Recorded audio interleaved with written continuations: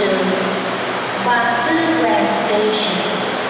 is arriving at platform.